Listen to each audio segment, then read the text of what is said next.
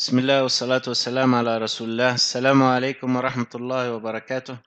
في هذا الجزء الخامس من ال chapter الرابع بعنوان Application سوف نأخذ مثال تطبيقي لمسألة المساقط. وهذا المنظور بتاعنا والسؤال هو إيجاد ال elevation ال plan وال right side view أول حاجة خلينا نعرف أبعاد ال elevation وال plan وال side view هنا بالنسبة لل elevation هننظر في الاتجاه هذا. هيكون عندنا كعرض مية وخمسين هذه المية وخمسين بتاعنا. هيكون عندنا كارتفاع هنا هيكون عندنا كارتفاع ثلاثين زايد إيه؟ زايد عشرين اللي هي إيه؟ اللي هي خمسين. دي أبعاد إيه؟ أبعاد ال elevation بالنسبة لل right side view هننظر في الاتجاه هذا. هيكون عندنا كعرض خمسين هذه الخمسين بتاعنا والارتفاع هو نفس ارتفاع ال elevation بالنسبة لل plan هننظر من فوق وهيكون عندنا إيه؟ هيكون عندنا نفس عرض ال elevation والارتفاع بتاعه هو إيه؟ هو ارتف... هو عرض ال right side view. يعني الخمسين دي هي إيه؟ هي عرض ال right side view. بعد ما عرفنا وحددنا الأبعاد بتاع ال elevation وال right side view وال plan محتاجين نحدد أماكن المساقط في الورقة بتاعنا. هذه اللوحة بتاعنا والورقة اللي هي طولها أو عرضها 400 والارتفاع 247 محتاجين نحدد أماكن المساقط في الورقة عشان تكون الرسمة في وسط الورقة. لهذا هنحسب 150 هنضيف لها 50 هنتحصل على إيه؟ هنتحصل على 200 ال 200 دي هنشيلها من 400 اللي هو عرض الورقة هنتحصل على 200 وبعدها نقسمها على ثلاثة نتحصل على إيه؟ على 67 يعني إيه؟ هنيجي من هنا من اليمين مسافة 67 يا ده مكان فراغ. وبعدها هنروح مسافة كم؟ هنروح مسافة 150 إيه هي ال 150 هي عرض الاليفيشن بتاعنا. هروح كده مسافة 150 وانزل خط عمودي. بعدها أروح مسافة سبعة وستين وانزل إيه خط عمودي. وبعدها أروح مسافة كم؟ مسافة خمسين اللي هي عرض ال right side view وانزل إيه خط عمودي. باقي الآن الفراغات العمودية. هجمع خمسين زايد خمسين الارتفاع بتاع ال elevation الارتفاع بتاع ال plan ده بيعطينا مية.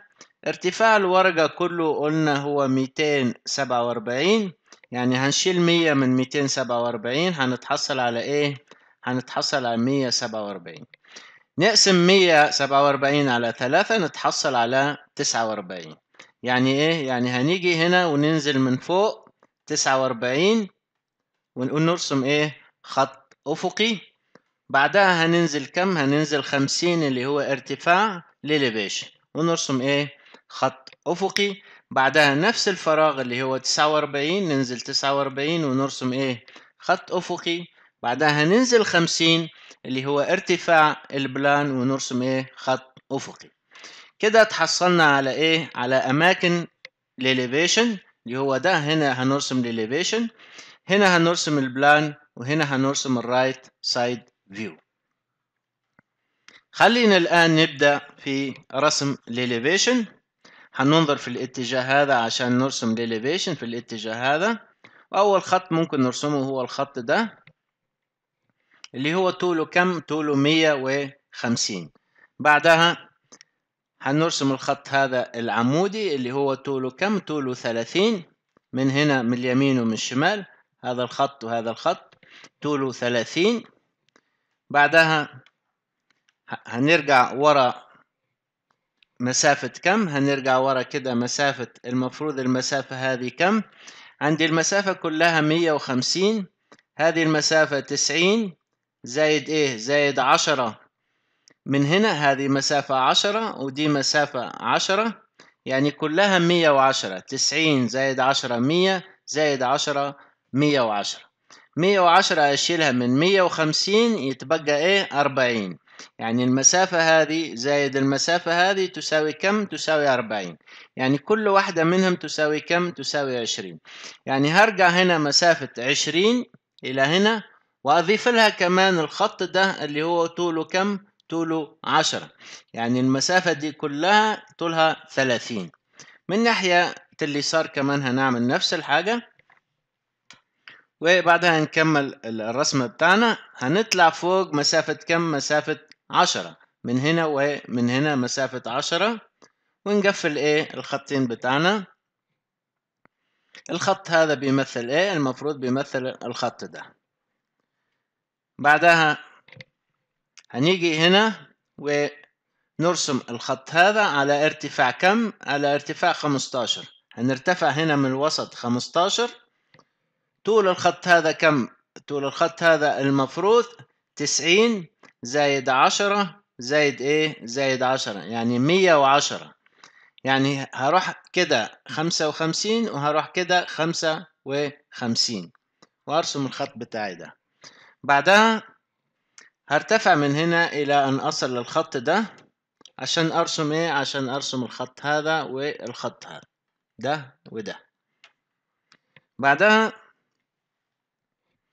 هاجي هنا عشان أرسم إيه؟ عشان ارسم الخط هذا العمودي والخط هذا العمودي. المفروض المسافة بيناتهم كم؟ المسافة هذه كم؟ المفروض تسعين أشيل منها عشرة وأشيل منها عشرة يعني إيه؟ سبعين. كده خلصنا إيه؟ خلصنا ليليفيشن هنروح نرسم الآن البلان. هننظر من فوق. وده أول خط ممكن نرسمه اللي هو بيمثل إيه؟ بيمثل الخط هذا زائد الخط هذا زائد الخط هذا لو نظرنا من فوق الثلاثة خطوط دي واحد اثنين ثلاثة حيكونوا على نفس إيه؟ نفس المستوى من فوق كمان حيكون عندنا نفس الخط هذا المفروض هو إيه؟ هو هذا الخط هذا الخط بتاعنا اللي طوله كم؟ طوله خم خمسين هرسمه من هنا من اليمين ومن الشمال. وبعدها نقفل الخطين بتاعنا. الآن هحاول أرسم الخط هذا على أي مستوى؟ على مستوى الخط هذا الأخضر. أطلع أروح مسافة كم من هنا؟ المفروض هذه كلها ثلاثين هذه كلها خمسين وهذه عشرين يعني باقي هذه ثلاثين اللي هي نفس المسافة دي ثلاثين. يعني هروح كده هرتفع كده ثلاثين ومن هنا ثلاثين. بعدها هرجع ورا كده مسافة كم؟ هرجع ورا المسافة هذه زائد المسافة هذه. هرجع ورا المسافتين دول اللي هم يساوي كم؟ يساوي إيه؟ يساوي عشرين. بعدها هرتفع من هنا إلى أن أصل إيه؟ للخط ده. رسمت إيه هنا؟ رسمت بكل بساطة هذا الخط. ورسمت الخط اللي هنا. كويس؟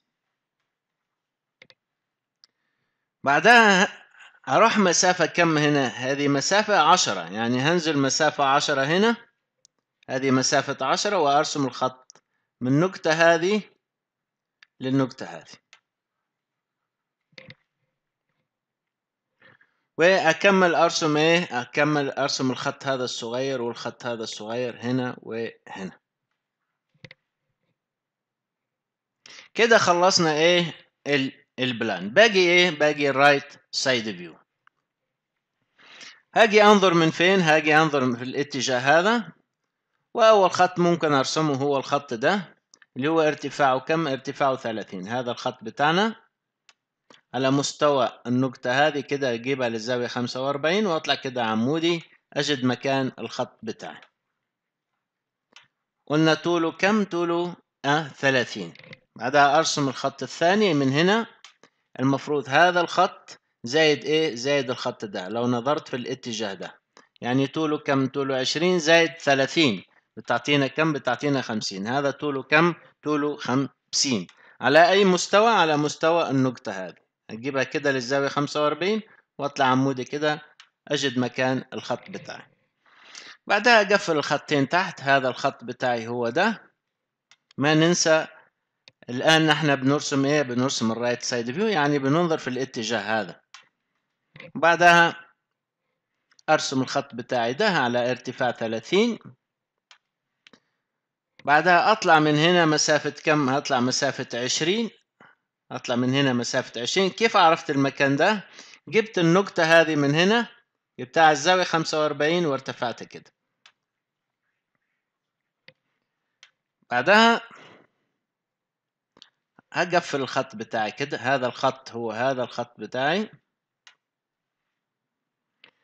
في خط مخفي لازم نرسمه اللي هو ال dash line. فين هو ال dash line؟ لو نظرت من هنا الخط هذا والخط هذا هي خطوط مخفية. نعيدها ثاني. الخط هذا والخط هذا هم خطوط مخفية. لهذا السبب رسمتهم إيه؟ رسمتهم dash dash line. بعدها في خط كمان مخفي اللي هو الخط ده. لو نظرت من هنا الخط هذا هو خط إيه؟ خط مخفي. باقي عندي إيه؟ في خط صغير مخفي اللي هو ده. هذا الخط كمان خط مخفي رسمته dash line وكده